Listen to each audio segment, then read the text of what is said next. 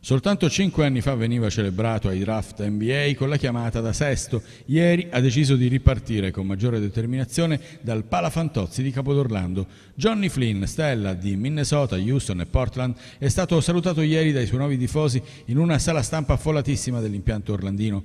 Sorrisi ed una inattesa emozione per il playmaker 25enne, fermato un anno fa da un infortunio all'anca, ma che lo staff medico di Capodorlando ha promosso a pieni voti alle visite per il prossimo campionato di Serie A.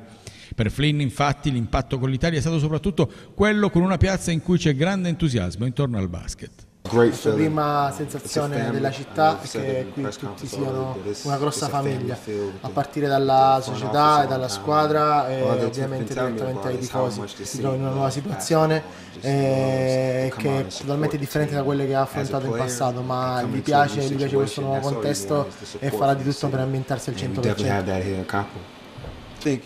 Eh, si aspetta di ottenere molte vittorie con Capo d'Orlando, è grato alla società e a tutta l'Orlandina per l'opportunità che gli è stata data. Non ha bisogno di ulteriori motivazioni, è solo veramente contento di poter tornare sul parquet e di assaggiare di nuovo quello che cosa vuol dire, che cosa, che vuol dire la pallacanestro per lui.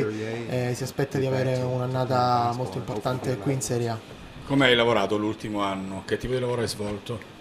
Ha preparato il suo corpo al meglio con uh, chiroterapia, uh, pesi, agilità per uh, essere pronto e lavorare al meglio per un club come, come Capodorlando e per rilanciarsi appunto adesso in Serie A. Una scommessa per il direttore sportivo Giuseppe Sindoni che se risultasse vincente farebbe fare un enorme salto di qualità all'Upea per la prossima stagione. Intanto da oggi tutti gli allenamenti dell'Orlandina si spostano al Palafantozzi in vista delle prime amichevoli in programma.